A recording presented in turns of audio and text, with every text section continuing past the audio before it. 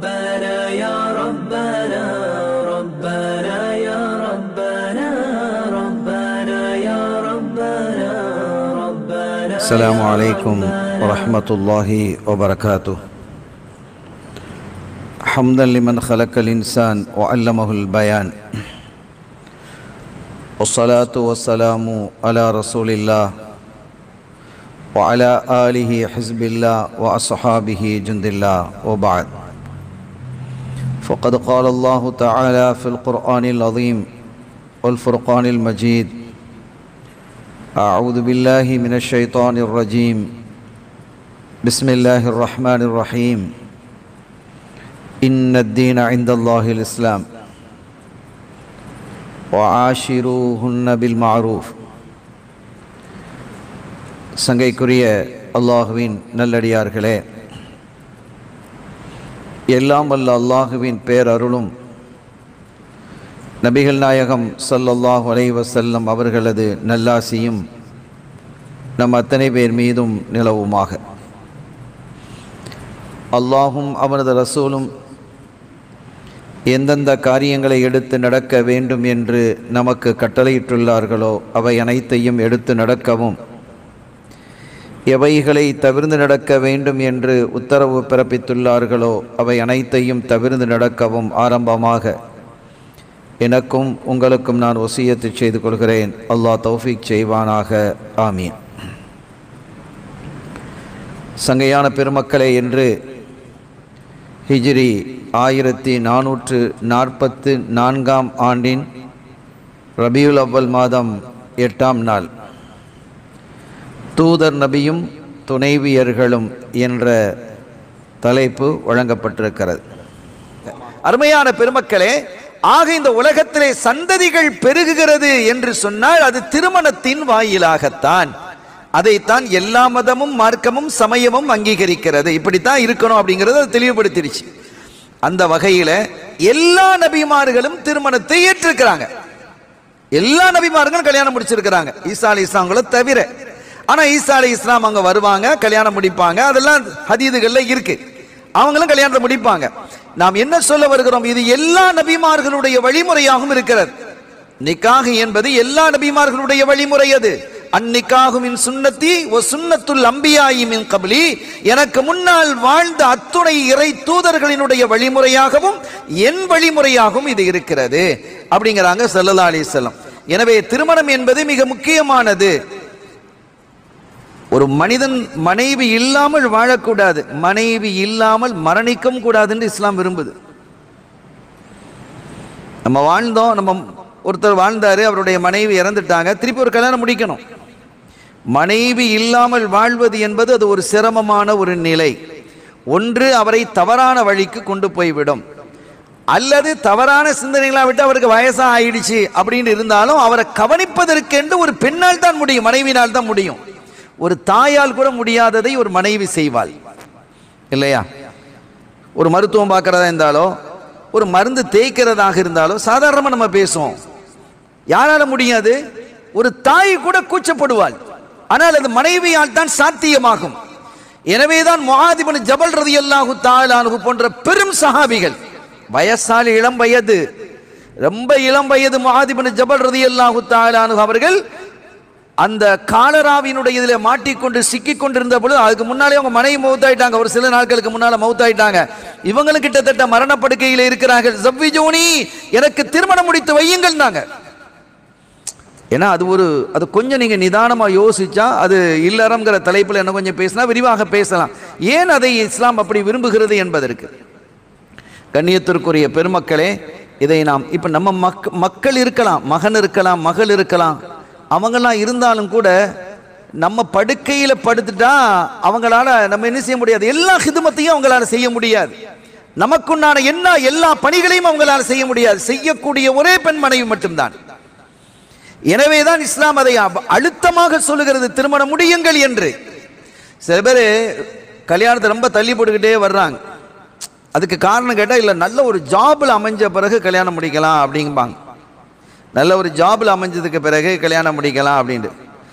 அப்படி கிடையாது ஜா ஜாப் நல்ல ஒரு ஜாப் அமையல. இவர் என்ன செய்வார்? அப்படியே சன்னியாசி இருந்துருவாரா. என்ன? அட நீ கல்யாணத்தை முடி. அல்லாஹ் சொல்றான் கூனு ஃபுக்கரா யுகனிஹிமுல்லாஹு மின் ஃபதுலி. ஒரு மனிதன் தன்னினுடைய இஃபத்தை தான் வந்து தவறிவிடக்கூடாது என்ற நோக்கத்தில் அவன் திருமணம் முடிப்பானேயானால் அல்லாஹுவினுடைய உதவி அவன் மீது இருக்கிறது. சலாசத்துன் ஹக்குன் அதல்லாஹி அவுனுஹும் மூன்று பேருக்கு அல்லாஹு தாலா என்ன செய்யறான் உதவி செய்கிறான். அவன் உதவி செய்வது கடமைங்கிறான். சல்லல்லாஹு சொல்றாங்க. அல்லாஹின் மீது மூன்று பேருக்கு உதவி செய்வது கடமை. அல் முஜாஹிது ஃபீ சபீலில்லா அல்லாவுக்காக வேண்டி யுத்த களத்திலே தன்னுடைய உயிரை அர்ப்பணிக்க முனைந்த பெருமக்கள். ஒல் முகாத்தபத்துல்லதி யுரீதுல் அதா. ஒரு அடிமை அவன் உரிமை சீட்டு எழுதி கொடுக்கப்பட்டிருக்கான். இதுக்கு பெரிய விளக்கம் இப்போ சொல்ல வேண்டிய அவசியம் இல்லை. அவன் என்ன செய்யறான் முறையாகவே என்ன செய்யறான் தான் அடிமை தளத்திலிருந்து விடுதலை பெறணும்னு நினைக்கிறான். அவன் ரெண்டாவது. மூணாவது உன் நாக்கிஹுல்லதி யுரீதுல் அஃபாஃப். தவறு செய்து விடக்கூடாது பாவத்தில் வீழ்ந்து விடக்கூடாது என்று திருமணம் முடிக்க நாடுபவன். அவன் ஏழையா இருந்தான்னா பணக்காரனா இருந்தா என்ன? நீ நாடு. அப்படி நீ தவறிலே போய் விடக்கூடாது திருமணம் இருக்குது ஒரு அற்புதமான இபாதத். உலகத்துல திருமணத்தை இபாதத்து என்று சொன்ன ஒரே மார்க்கம் இஸ்லாம் மட்டும்தான். துறவரத்தின் மூலமாக துறவியாக இருப்பதின் மூலமாக இறைவனை அடைய முடியும் என்று பல சமயங்கள் பேசுகிறது.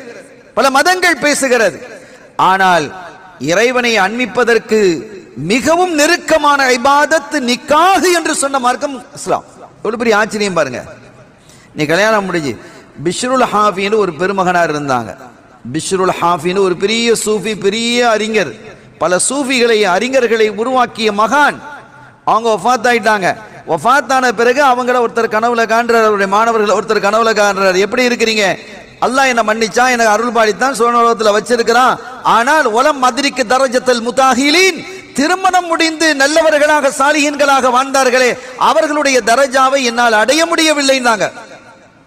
ரொம்ப கவனமான இது இமாம் சொல்கிறாங்க சொல்றாங்க ரதியல்லாஹு தாலான் கண்ணியத்திற்குரிய பெருமக்களே அவங்க சொன்னா உலம் மாதிரிக்கு தரஜத்தில் முத்தாகிலின்? திருமணம் முடிந்து சிறப்பான வாழ்க்கை வாழ்ந்த அந்த பெருமக்களினுடைய தரஜாவை அந்தஸ்தை என்னால் அடைய முடியவில்லை அப்படின்னு குறிப்பிடுறாங்க. அப்ப என்ன விளங்குற நம்ம? இல்லறத்தின் மூலமாக இறைவனை மிக இனிதாக நெருங்க முடியும் மிக எளிதாக நெருங்க முடியும்.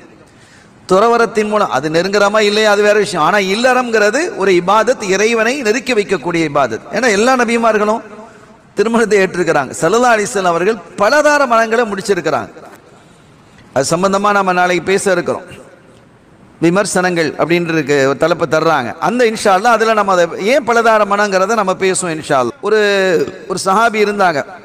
சல்லா அலி செல்லம் அவங்களுக்கு நிறைய ஹிதுமை செஞ்சுக்கிட்டு இருப்பாங்க. அவங்களுக்கு நம்ம ஹாதிமா இருந்தாங்க சல்லல்லா அவங்களுக்கு.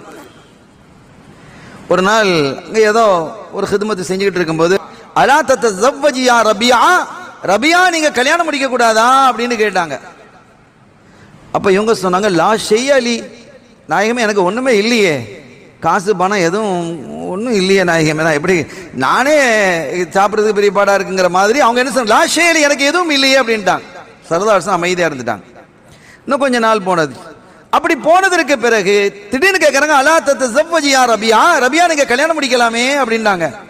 லா ஷெய் அலி அவங்க மனசுல நினைக்கிறாங்க நான் இப்போ உடுத்திருக்கிற உடுப்போ அல்லது நான் ஏதாவது உணவு சாப்பிட்றனோ அல்லது பானம் குடிக்கிறனோ ஏதாவது இருந்தாலும் எல்லாம் அவங்க தர சூழ் சல்லாசன் தர்றது.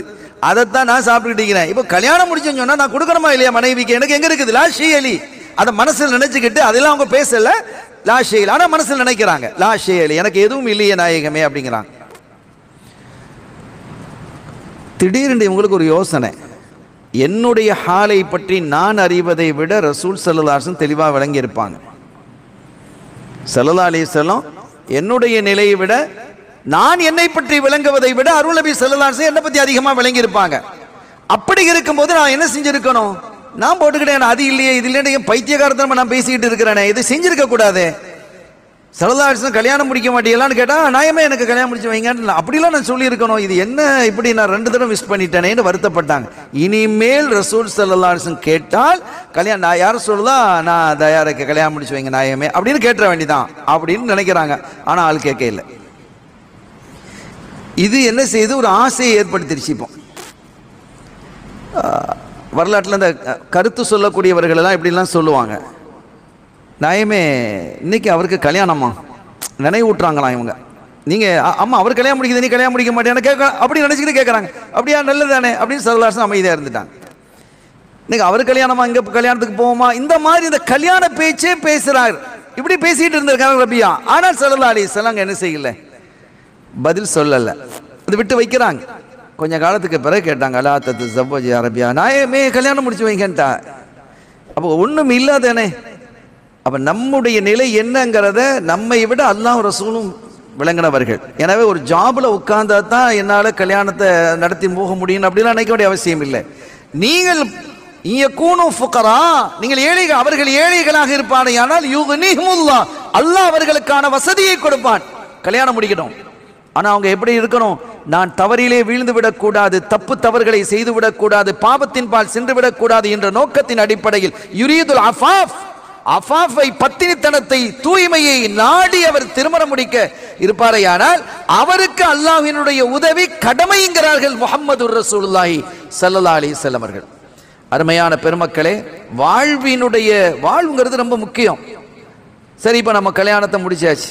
அந்த வாழ்க்கை எப்படி இருக்கணும்னு கேட்டால் அழகான வாழ்க்கையாக இருக்கணும். இதற்கு முழுக்க முழுக்க முன்மாதிரி நம் இதயவேந்தர் சல்லல்லா அலிஸ்லாம் அவர்கள் தான் இப்போ தலைப்புக்குள்ள நான் வந்திருக்கிறேன்.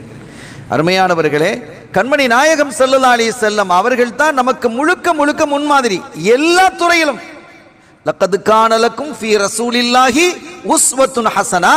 அல்லாவினுடைய தூதரிடத்தில் உங்களுக்கு எல்லா விஷயத்திலும் எல்லா துறைகளிலும் முன்மாதிரி இருக்கிறது. நீங்கள் எந்த துறை நீங்கள் யாராக இருந்தாலும் சரி நீங்கள் பெரிய கம்ப்யூட்டர் இன்ஜினியராக இருந்தாலும் சரி தான் உங்களுக்கு முன்மாதிரி ஆட்டம் இருக்குது சலதாசன் இருக்குது அவங்கள தேடுங்க அவங்கள பாருங்க அவங்கள படிங்க. அதில் அற்புதமான முன்மாதிரிகள் இருக்கிறதை நீங்கள் காண முடியும். வாழ்வினுடைய நீண்ட பகுதி திருமணம் தான் இல்லையா? திருமணத்துக்கு பிறகு வாழ்ற பகுதி தான். ஒரு ஆவரேஜாக ஒரு மனுஷன் வாழ்றதுங்கிறது ஒரு அறுபத்தி அஞ்சு வயசு. அறுபதுலேருந்து எழுபது வரைக்கும் அப்படின்னு சொல்லலான்னு சொல்கிறாங்க எனது உம்மத்தினுடைய வயசு அறுபதிலிருந்து பைன சித்தின ஒரு சபாயின் அறுபது டு எழுபது. இதான் ஆவரேஜ் வயசு. எழுபதுக்கு மேலேயும் வாழ்கிறவங்க இருக்கிறாங்க அறுபதுக்கு கீழேயும் போறவங்க இருக்கிறாங்க. ஆனா ஆவரேஜாக எடுத்துக்கொண்டால் இந்த உம்மத்தினுடைய ஆவரேஜ் அன்றிலிருந்து இன்று வரைக்கும் அதுதான். அறுபதுல இருந்து எழுபதுக்குள்ள தான் நம்ம நடுத்தரமா பார்த்தா ஒரு அறுபத்தஞ்சு வயசு. இந்த அறுபத்தஞ்சு வயசுல கல்யாணம் பெரும்பாலும் எத்தனை வயசுல முடிக்கிறாங்க ஒரு ஆண்கள்னா இருபத்தஞ்சு வயசு. அப்ப நாற்பது வருஷம் அறுபத்தைந்து வருடத்தில் பெரும்பாலும் நாற்பது வருடங்கள் அதிகமான வருடங்கள் நிக்காகோட தான் காலம் கழியுது. இருபத்தஞ்சு வயசுக்கு குறைஞ்சும் கல்யாணம் முடிக்கிறவங்க இருக்கிறாங்க இருபத்தஞ்சு வயசுக்கு கூடுதலாகவும் கல்யாணம் முடிக்கிறவங்க இருக்கிறாங்க. ஆனால் இருபத்தஞ்சு வயசை தாண்டாமல் இருப்பது நல்லது. அது வந்து சரியான ஒரு பருவமாக அதை பார்க்கப்படுகிறது. இருபத்தைந்தாவது ஆணுக்கு இருபத்தைந்தாவது வயது என்பது ஒரு சரியான பருவம். ஆனால் அதுக்கு கீழே என்ன செய்யலாம் கல்யாணம் முடிக்கலாம். இருபது வயசில் முடிக்கலாம் பதினஞ்சு பத்தொம்பது வயசில் முடிக்கலாம். அதுக்கு என்ன இருக்குது அருமையான பெருமக்களே எனவே அந்த காலம் கடந்து கல்யாணம் முடிக்கிறது என்பது கல்யாணத்தின் மூலமாக நிக்காகின் மூலமாக ஏற்படக்கூடிய நோக்கங்கள் பின்னடைவு அடைந்துவிடும். அதுக்கு பின்னுக்கு போயிடும். வயசான பிறகு போனதுக்கு பிறகு கல்யாணத்தை முடிச்சிங்கன்னா அந்த திருமணத்தினுடைய முழு நோக்கத்தையும் செயல்படுத்த முடியாது. வாழ்க்கை நிறைவுறும் பொழுது மனைவி இருக்கணுங்கிறது மார்க்கம் சொல்லுது. அதற்கான காரணத்தை நம்ம லேச சொன்னோம். ஆனால் திருமணத்தை ஏற்க இருக்கக்கூடியவர்கள் அது சீக்கிரமா கல்யாணத்தை முடிச்சிடணும். வாழ்க்கை அப்பதான் என்ன செய்ய முடியும்? பிள்ளைகளை பார்க்க முடியும் பேர பிள்ளைகளை பார்க்க முடியும். அது ஒரு அற்புதம் இல்லையா? அது ஒரு ஸ்டேஜ் நீங்க தந்தையாக அத்தாவாக நீங்க மாறினீங்கன்னு சொன்னா நீங்க ஒரு தரஜாக்கு மேல வந்திருக்கிறீங்க. கணவன் என்ற நிலையிலிருந்து அத்தா அப்படிங்கிறது அத்தாக்கு மேல தாத்தா அப்படின்னு வந்திருக்கிறீங்க. இதெல்லாம் தனி ஒரு சிறப்பு இது இஸ்லாத்துல. சாதாரணமாக இருக்கக்கூடிய ஒரு போலீஸ் வந்து இன்ஸ்- இன்ஸ்பெக்டராக வந்தால் எப்படி இருக்கும்? சப் இன்ஸ்பெக்டராக வந்தால் எப்படி இருக்கும்? அதுக்கப்புறம் இன்ஸ்பெக்டராக வந்தால் எப்படி இருக்கும்? அப்போ டிஜிபியாக வந்தால் எப்படி இருக்கும்? இதே மாதிரி ஒரு நிலை இதை விட சிறந்த நிலை. கணவராக இருந்து தந்தையாக மாறி தாத்தாவாக மாறுவது என்பது உலகெங்கிலும் அங்கீகரிக்கப்பட்ட ஒரு உயர்வான அந்தஸ்துங்கிறத நம்ம புரிஞ்சுக்கணும். அதற்கு இளம் வயசுலேயே கல்யாணம் முடிக்கிறது தான் பெஸ்ட் நீங்க கல்யாணம் முடிச்சா தான் அந்த கல் நிக்காகினுடைய முழு இன்பத்தையும் அடைய முடியும். ஹைரு மத்தாஹி துன்யா அல் மர்அத்து இந்த உலகத்திலேயே மிக உன்னதமான இன்பம் எது என்று சொன்னால் அது ஒரு நல்ல மனைவி அமைவதுதான் என்று கண்மணி நாயகம் செல்லலாசன் சொல்கிறான் அருமையானவர்களே இனி மனைவியை தேர்ந்தெடுக்கக்கூடிய முறைகள் என்று எத்தனையோ இருக்கு.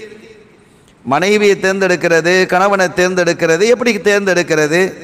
என்பதையெல்லாம் மார்க்க நமக்கு தெளிவாக சொல்லுது. சல்லல்லா அலிஸ்லாம் அவர்கள் ரொம்ப தெளிவாக சொல்கிறாங்க ஒரு தோழர் வர்றாங்க.